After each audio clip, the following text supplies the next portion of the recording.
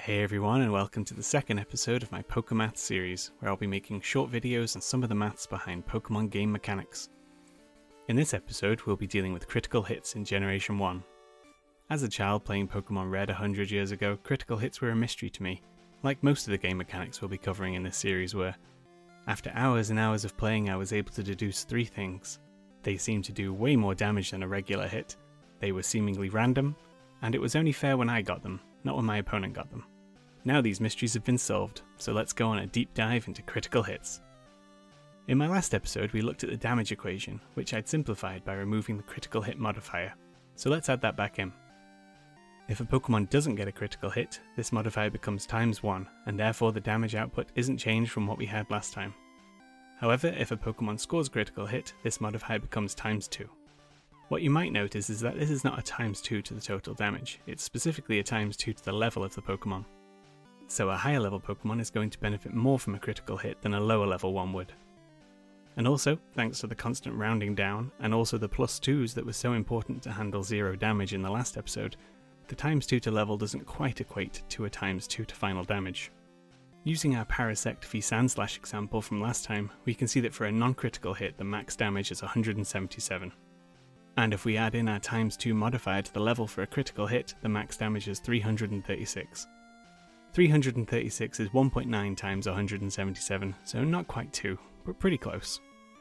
For a level 5 Pokemon, the difference critical hit makes will be less, Taking an example of a level 5 Charmander versus a level 5 Bulbasaur, we can see a critical hit is 1.5 times a normal hit. Let's see the critical hit damage modifier in practice. I have my level 50 Scyther and he's fighting Bruno's Onix.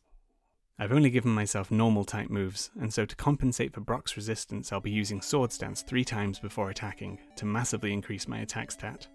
Looking at the non-crit first, entering our values into the formula gives us a range from 51 to 61.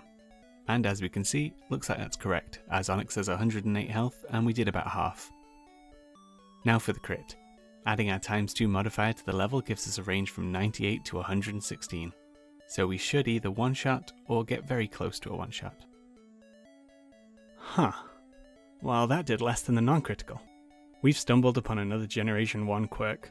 While non crits use the user and opponent's modified stats, critical hits ignore stat changes and use the unmodified values. This was fixed in later generations, and so I believe the original intention was to ignore just the enemy's defense boosts. Your attack was so powerful and focused that it bypassed the opponent's attempt to defend itself. But due to an oversight, we also ignore our attack changes.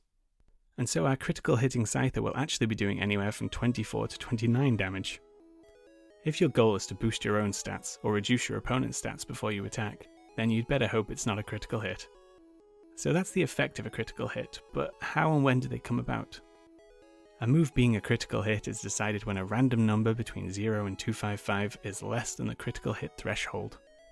The critical hit threshold in Generation 1 is half the Pokemon's base speed.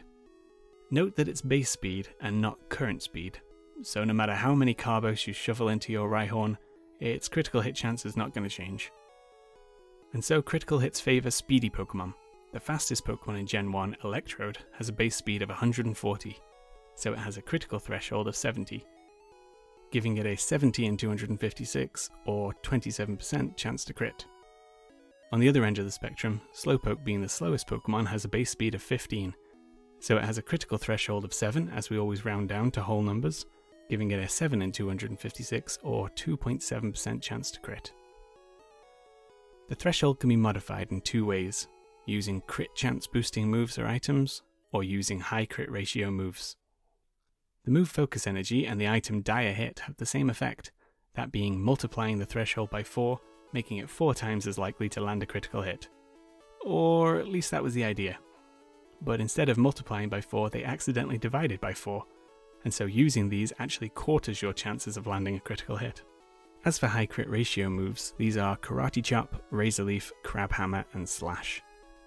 When these moves are used, the critical hit threshold is multiplied by 8, capped at a max of 255. Which means if a Pokemon's base speed is large enough, using one of these moves will give us an 100% chance to land a critical hit. While technically even 100% chances are actually 255 out of 256, but I'll cover that in the next episode. So looking at the base speed of Pokemon using high crit ratio moves, we can see that if we have a base speed of 65 or above, you'll pretty much be critting all of the time. And so in conclusion, if you're using a Razor Leafing Venusaur, don't use Growth. Thanks for watching. I hope you learned something because I definitely did. If there's any game mechanics you'd like me to do an episode on, then please let me know. Next time, I'll be looking at accuracy. See ya!